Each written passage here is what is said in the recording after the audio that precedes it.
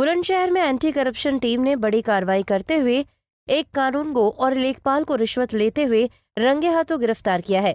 मामला याकूबपुर गाँव का है, जहाँ कानूनगो और लेखपाल ने एक किसान से चकबंदी की रिपोर्ट बनाने के एवज में एक लाख रुपए की रिश्वत की मांग की थी और बीस हज़ार रुपए किसान से ले भी चुके थे।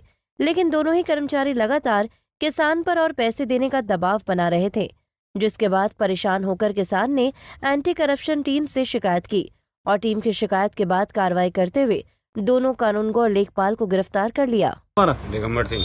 क्या हुआ था? पूरा मामला बताइए। पूरा मामला ये है जी कि चकबंदी गाँव में चल रही है। लेखपाल मनोज कुमार कानून गो अनिल कुमार। इनके द्वारा संदर्भ ठीक करने के मुझ पे थे एक लाख रुपया मांगे जो कि पहले भी दे चुका। बीस हज़ार मैंने हाथ दिए अच्छा। रंगे हाथों पकड़ी गई टीम द्वारा। किसने पकड़ा रंगे हाथ? रंगे हाथन ये टीम है मेरठ से आई है एंटी कंडीशन टीम। आपने क्या शिकायत करी थी? मैंने शिकायत ये करी जी मेरा संदर्भ सुधारने के लिए एक लाख रुपया मांगा जा रहा है।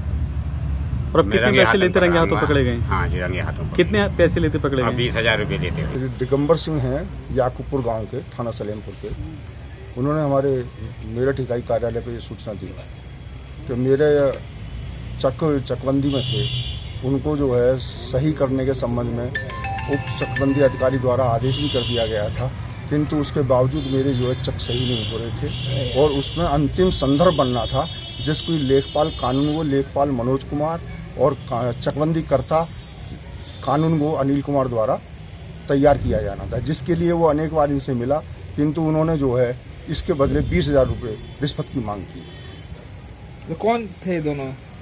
ये मनोज कुमार लेखपाल हाँ। और चकबंदी करता जिसे कानून वो कहते हैं चकबंदी कानून वो अनिल कुमार। सर कितनी धनराशि इनसे बीस हज़ार रुपये।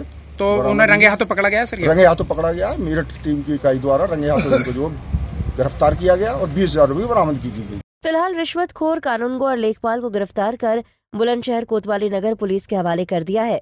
वहीं दोनों के खिलाफ भ्रष्टाचार निवारण अधिनियम के तहत मामला दर्ज कराकर जेल भेजा जा रहा है।